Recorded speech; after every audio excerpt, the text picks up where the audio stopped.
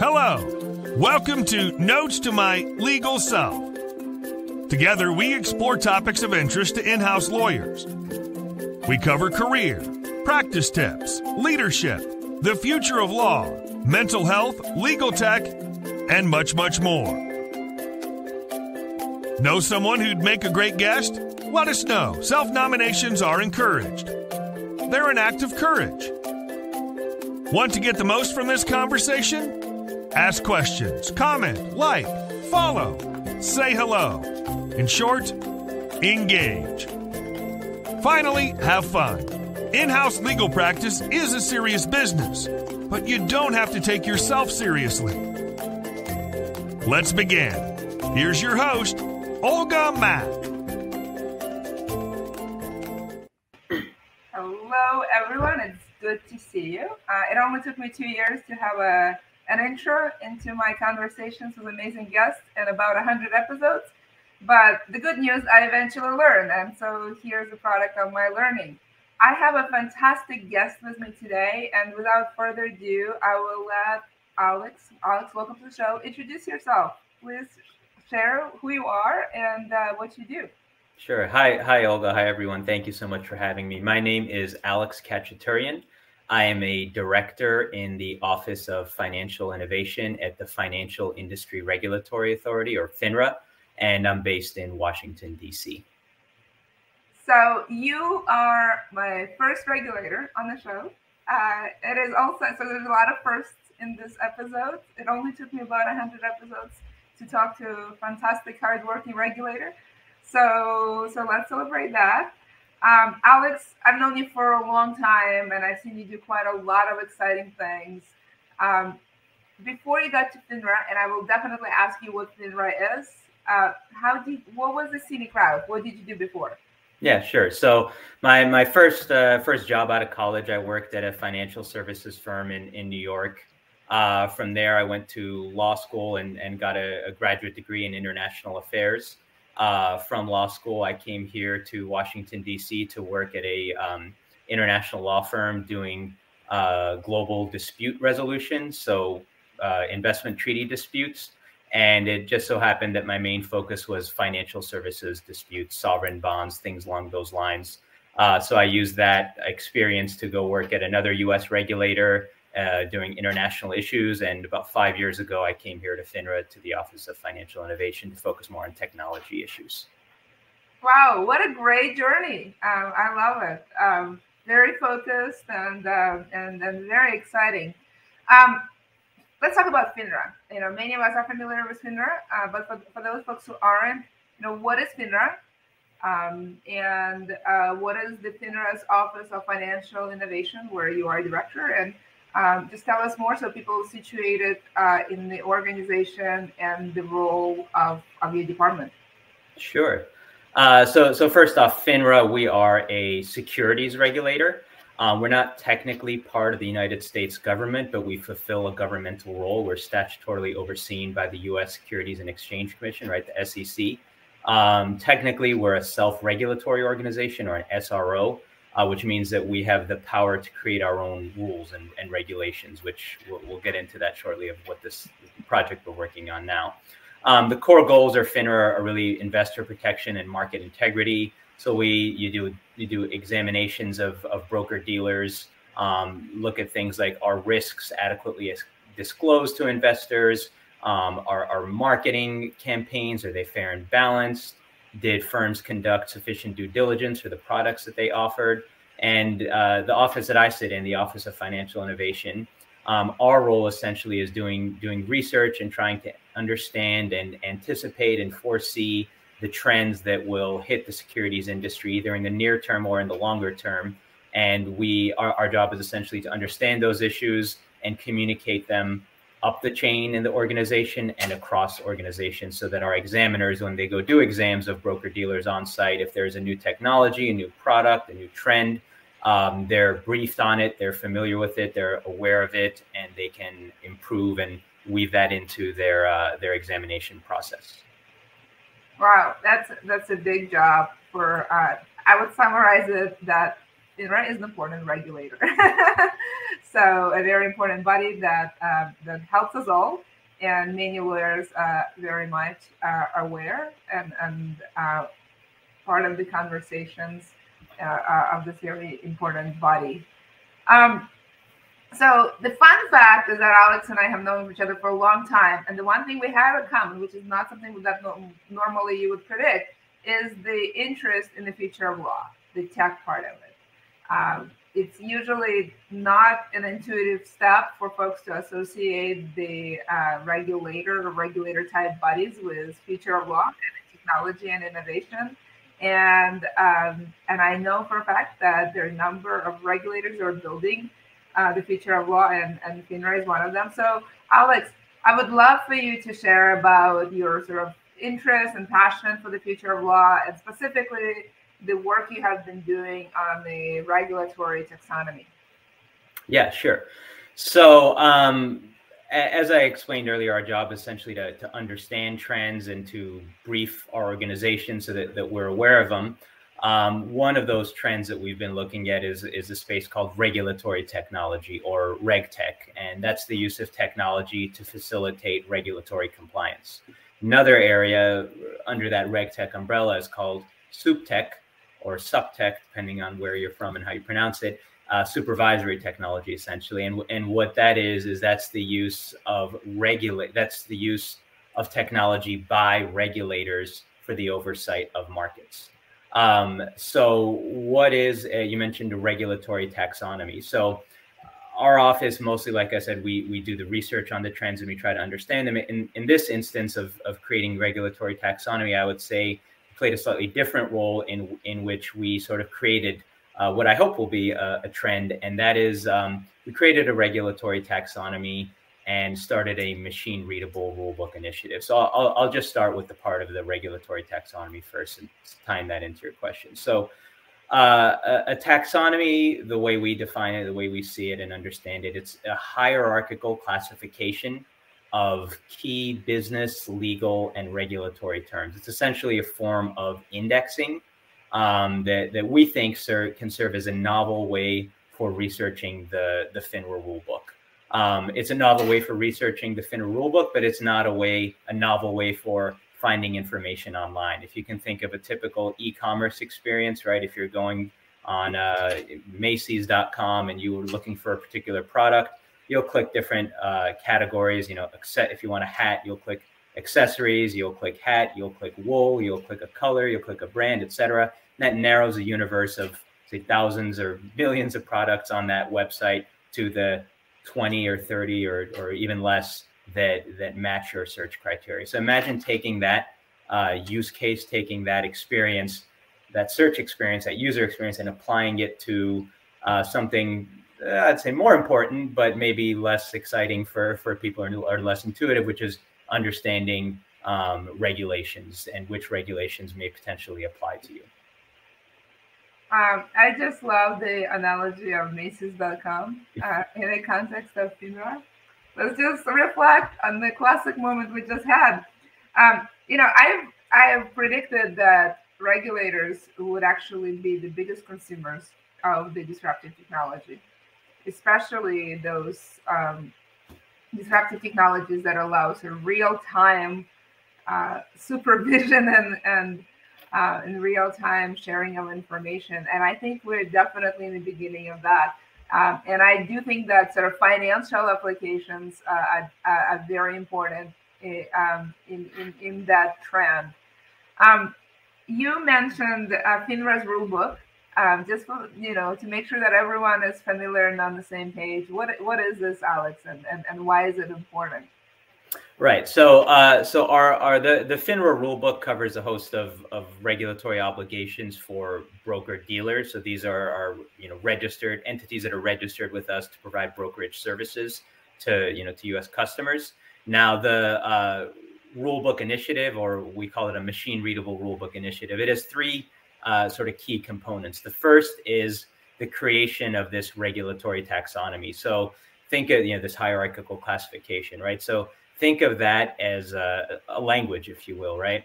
It's a language that was created, and, and I, I want to emphasize that this wasn't something that we you know, through a, a NLP tool, right, a, natural language processing tool to comb through text. Um, this was a human effort, and it wasn't just just any old humans. It was FINRA attorneys, um, including myself and, and highly educated, very dedicated, and driven people who who really want to make sure that everyone in the marketplace benefit from knowing what's there. Sorry to interrupt you because I felt like I'm in better position to to describe you more fully.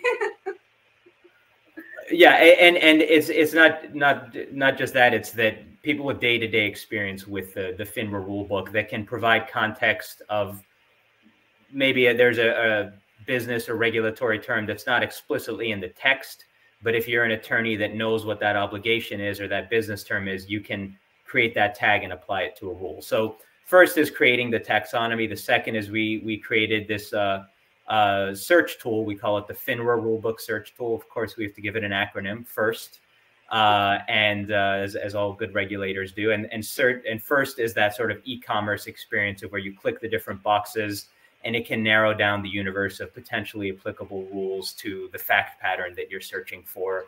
Um, that can help firms save resources, time, etc. And lastly, uh, so there's a taxonomy, there's first, and then there's the application programming interface or the API.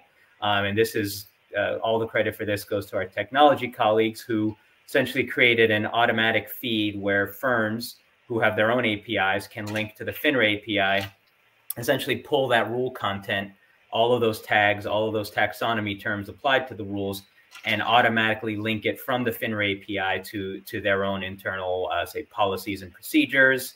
Um, they can get automated updates and automatic, uh, you know, uh, information uh, about rule changes or tag changes or things like that, and that can help with uh, you know keeping a pace with with with change and changing rules, particularly if you have multiple jurisdictions that you're seeking to comply with. I just love it the the the concept of getting your rules updated real time via APIs. It doesn't get better than this. Um, so cool. Um, as you started talking about the read, the machine readable rulebook initiative that started in, in October, I want to talk a little bit more about it. Um, how did it start? What is it? Where do you think it's going? I know uh, there's very bright, dedicated, highly experienced humans that are involved, but I'm just curious, kind of, what is the context for that? Sure. So I think the the impetus generally behind it is that the securities industry uh, it's increasingly relying on technology uh, to improve internal operational functions and to improve regulatory compliance. So we we believe that this initiative it, it supports those efforts by providing you know our own technology-based tools to enhance the effectiveness and efficiency of compliance efforts. So the journey started actually the, the day I walked in the door uh, to FINRA when my boss said, "Hey, uh, can you look up uh, you know xyz one project. Oh and uh, we might want to develop a machine readable rulebook. Can you can you do some work on that? Of course you know, i didn't quite know what that was. Uh, took some time to to research it and we uh, we put something out in the public space after you know doing our own digging and, and due diligence. We put something out in the public space to explain what a what a taxonomy is just like i explained now. Um, and essentially ask the public is this is this a worthwhile effort um, is this something that the industry wants? And the, the response we got was yes, um, yes, but start small. So we started a pilot um, that lasted from 2018 to 2019. We demoed the pilot. Um, we did a cost benefit analysis, which is something a lot of regulators do to essentially quantify the the effort and determine how much how much savings we're really talking about here in some sort of tangible, uh, numerical, concrete form. Uh, after receiving positive feedback on the pilot, we moved to full scale, full fledged development where we had a dedicated team um, locked in and working on uh, tagging a broader subset of the rules more more completely. And we linked up with a, reg, a prominent regtech firm in in the in Europe, and they helped us essentially validate our tags and validate our process and test it and build a user interface that we could demo uh, and you know test internally into certain external constituents. Um, and then we built out a built out the tool ultimately on finra.org where it sits right now. Oh wow, I love it. I mean, it sounds like everything you learned in law school, right? yeah, some of it, some of it. The technology part, right? yeah, not the technology, but the others. I, I, love that, but that's actually the interesting part, right? Um, you know, we, we, we increasingly hear in-house lawyers talk about kind of learning technology on the job. Um, you know, you don't usually hear regulators. How was that journey? Like that's the part when you walk in and your boss said, "Oh yeah, let's do machine readable stuff." What is your first reaction? What did you do? How did you go from there? Yeah, well, I mean, the the first reaction was, uh, you know, a, as a lawyer, you know, when you you write law review articles or briefs, you always want a source to cite to. So I think the first challenge was there wasn't many sources to cite to. There aren't there wasn't a whole lot of. Uh, Where did the precedent go? so there, there, there wasn't a whole lot to cite to. So I think that was uh, that was a challenge, but it was a challenge that I was excited to accept. Um, you have to put your creative thinking hat on and get to work. And you know, kind of going to your your question, you know, no, I didn't learn as much about technology, especially I, since I went to law school a little bit ago. I've I've, been I've been working for a few years now as, a, as an attorney. I imagine there's more technology offerings now in law school. Um, but where it did help was uh, I I am technically an attorney. I, I have a, a, legal background, of course, so my day to day practice isn't practicing law per se. But uh, I have a lot of training in in you know legal services and in regulatory analysis. So that that bedrock, that foundation, was very important in looking at and trying to understand basic legal obligations that I think every attorney uh, probably starts learning at 1L as a 1L. So I think that the background of, of general legal principles was, was really, really important for me to kind of lean on to help develop this taxonomy and work with, with the real experts who are our, our colleagues in the general counsel's office who, you know, many of them wrote these rules and interpret them multiple times every single day. So um, definitely uh, that, that JD was definitely came in handy. Yeah, no, absolutely. Um, that that that's probably the most important part. I do find that anyone who is doing anything innovative with technology, in the end, uh, relies on experts, and and the experts come in a couple of forms. There's sort of industry experts, subject matter experts, there are technology experts, and and that itself an, an important skill. The person who can collaborate with and, and understand and speak um, diverse languages of different folks, you know, contributes a lot on the team. Um, have you have you found that um, any lessons in in sort of being that intermediary between technologists, the subject matter experts, perhaps even industry, when you were soliciting feedback?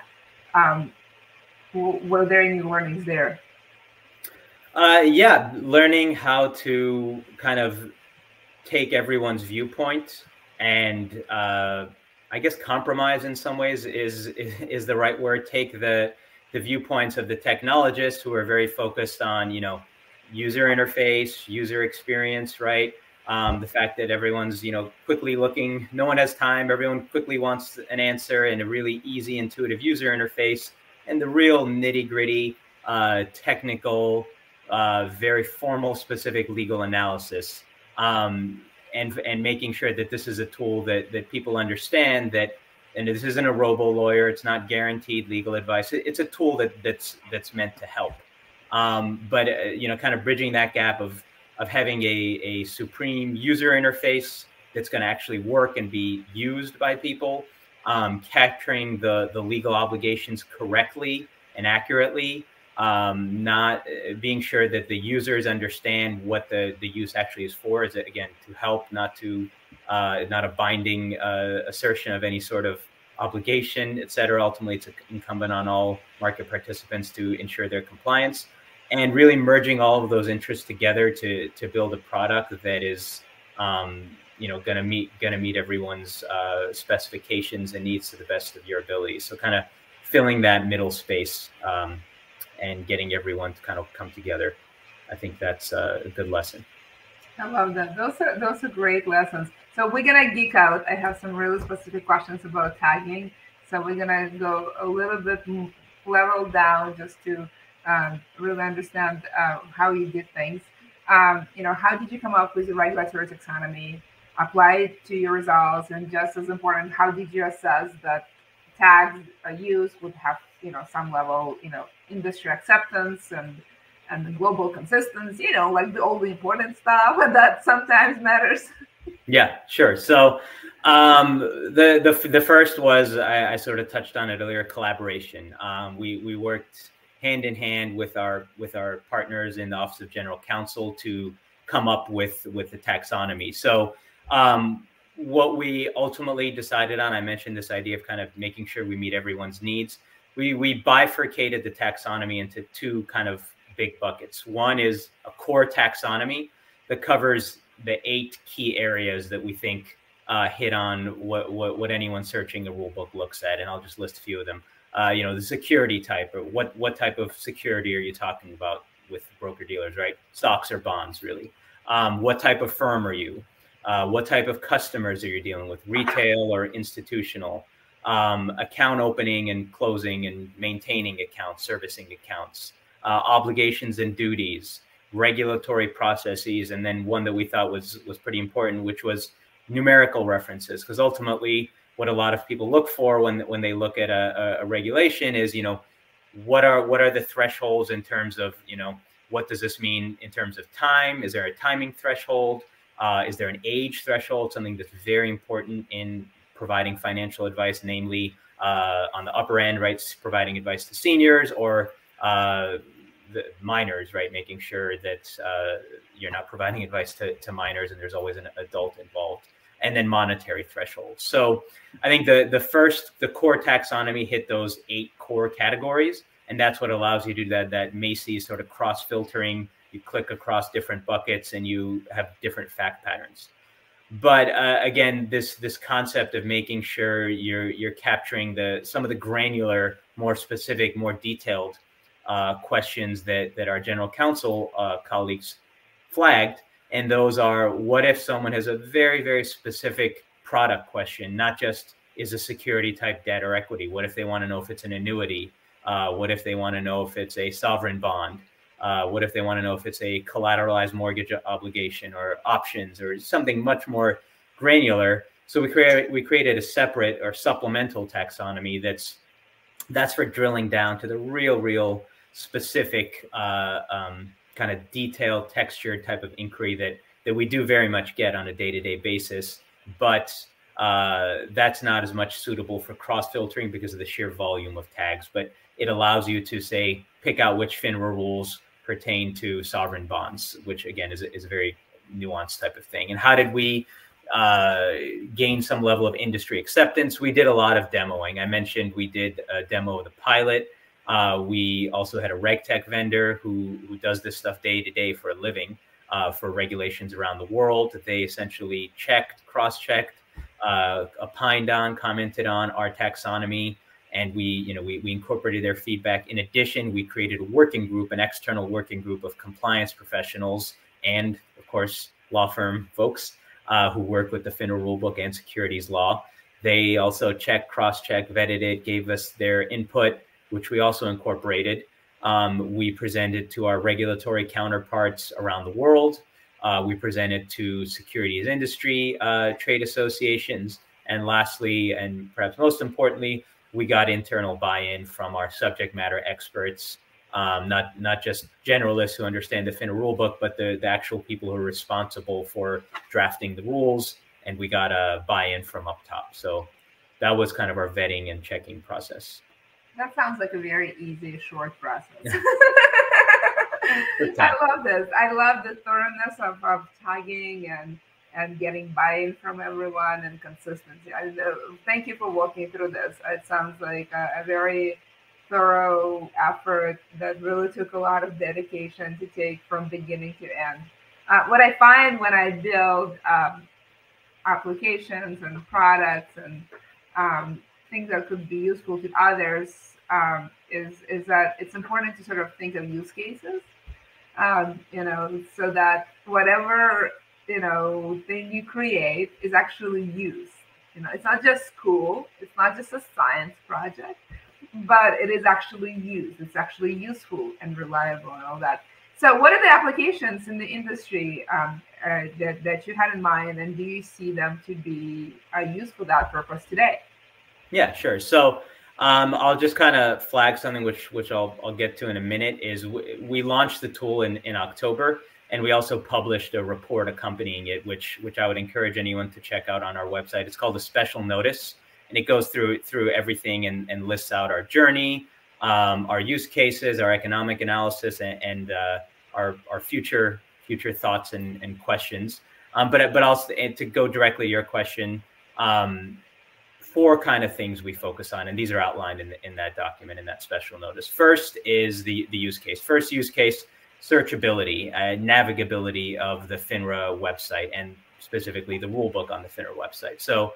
Um, if there is any sort of event-driven visit that takes you to the FINRA rulebook, and what I mean by that is you're a firm and you're looking to create a new financial product or a new business line, or you're looking for some sort of internal uh, training or education, uh, or you're looking at risk assessments or audits or internal inquiries, a whole, whole host of things that might bring you to the FINRA rulebook to, to check the, the obligations. Um, and this just provides a, a, what we think, or what, what, we hope people will, will think, is an improved navigation experience and an improved uh, capability to find uh, potentially relevant content and, and obligations to, to then work off of. Second is, uh, and this ties into the API, rule mapping and regulatory change management. So the API allows subscribers to the API to pull rule content and link it to their internal policies and procedures. Um, you can access past versions of tags. I mean, that that's coming down the line, right? Past versions of tags as those change. Um, you can get, as I mentioned earlier, the automatic updates. And this really helps firms uh, or facilitates the process of identifying, uh, interpreting, and complying with amendments and changes to FINRA rules. Which, again, if you're if you've got multiple jurisdictions that you're seeking to comply with, having that kind of tool built by a regulator for the industry, um, it can add a lot of value, we believe. Third area, resource savings. Uh, you know, reducing the amount of time and resources needed by firms, um, freeing up you know senior staff time to devote to other activities, and uh, lastly, perhaps serving as some sort of impetus for the regulatory community um, to you know work hand in hand with with uh, with FINRA to develop these types of global uh, tags. I love it. Um, thank you. Those are great use cases, and, and and and thank you for all the hard work you've been doing, you and your team, and the experts and everyone who contributed. That sounds like a, a massive effort. I have I have a little bit of time left. I want to ask a few more questions, um, and uh, specifically about sort of what's next. And you started alluding to um, perhaps working with others, perhaps working with the regulator community. Um, you know, what's next for for your effort? Yeah, sure. So um, most of our engagement with with uh, regulators has come through one-off discussions with our regulatory counterparts who had you know wanted demos and specific questions of you know how we got to this point. Uh, we also are part of a, an international group called the uh, Global Financial Innovation Network, or GFIN. It's essentially the uh, our counterparts of to, for, for FINRA's Office of Financial Innovation for regulators around the world. Um, and in terms of kind of tying that into to what's next, right? I, I, mentioned the special notice that we published. It is a 60 day comment period that's open. Um, and, you know, that comment period closes on December 20th. So, um, you know, not only does, does the special notice describe the project and our journey, um, but it asks a whole host of questions in terms of what is next. So if, if I think there's one kind of key takeaway uh, first is hopefully people kind of get a grasp of, of what the tool is and maybe can go on finra.org uh, under rules and guidance. You can see a link to explore the rulebook, maybe play around with the tool, see how it works for you. Um, but what is next is, is the key question.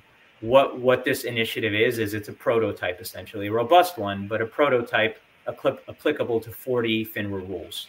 Um, we have certainly more than 40 FINRA rules.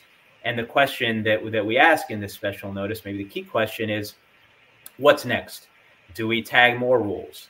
Do we tag ancillary documents to rules, right? Like enforcement actions, notices, guidances, updates, things like that. Um, and if we do expand our tagging effort, how does that get done? And who does it or what does it if we use the technology? So uh, is it FINRA that continues to do it? If so, who? Do we build out a team? Um, do we kind of dedicate more to it full time? Um, do we? Is there some sort of tech tool out there that I haven't heard of yet that can be uh, take all the taxonomy terms, feed that into the NLP model, and maybe use that uh, as a sufficient starting point to train the model and, and tag a, a, broader segment of the rulebook?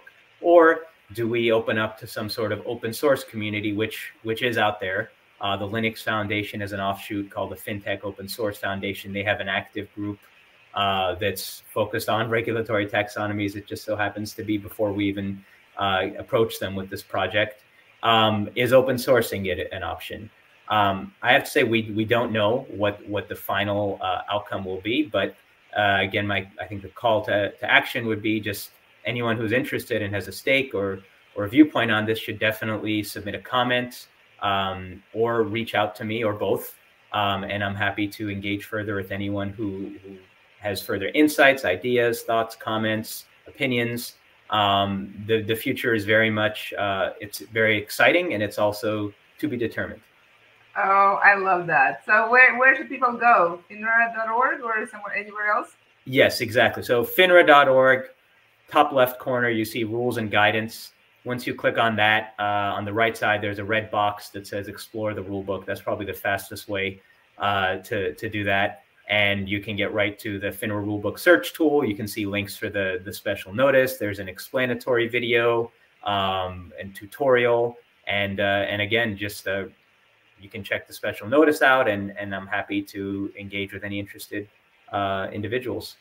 Oh, I love that. Um, maybe I'll ask you one more questions. Um, regulators and technology.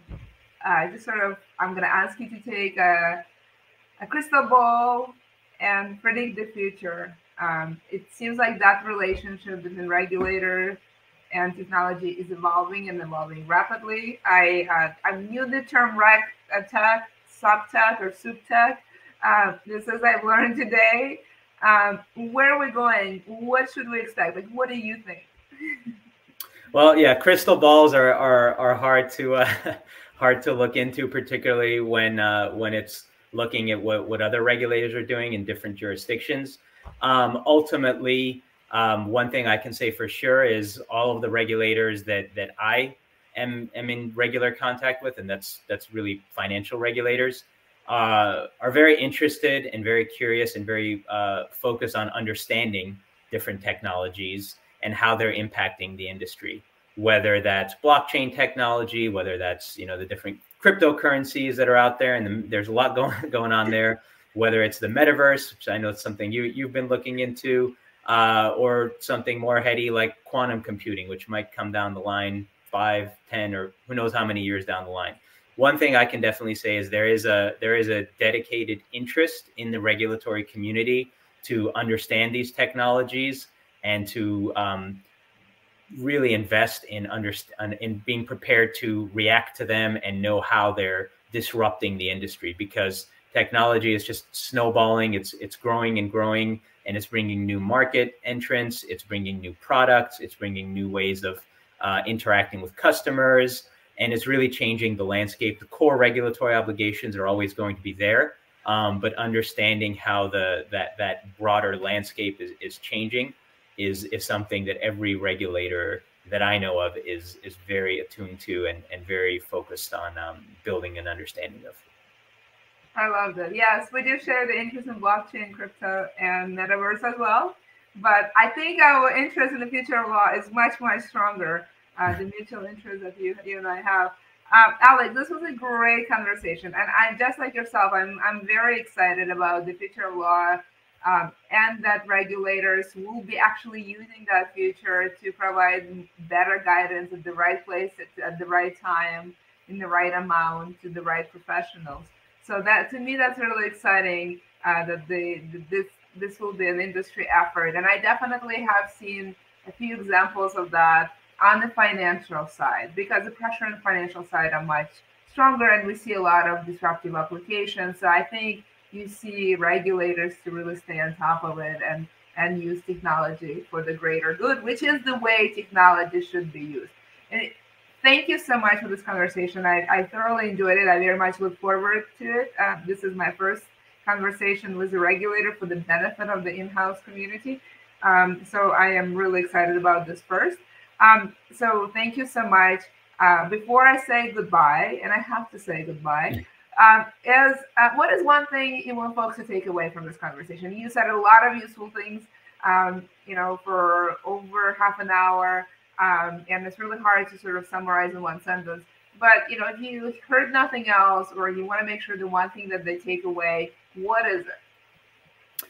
Um, sure. I, I, I would say that um, with with a commitment to to something, no matter the resource constraints, um, if you really have a dedicated team committed to bringing a certain outcome, you'll be able to you'll be able to do it, no matter what context or, or where it is that you're working. So I, I think that was that was one real takeaway we had from this multi-year effort from from building this taxonomy and ultimately launching it. And and I know you said one, but the last one is just we, we very much welcome your feedback.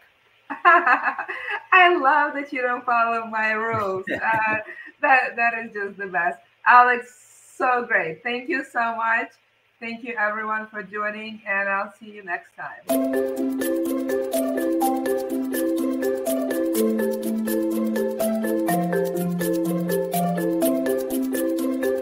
Thank you for stopping by. We hope you enjoyed this episode of Notes to My Legal Self. Know someone who'd make a great guest? Let us know. Self nominations are encouraged, they are an act of courage. Remember, the future of law is bright. Enjoy your in house practice, it's an adventure of a lifetime. See you soon.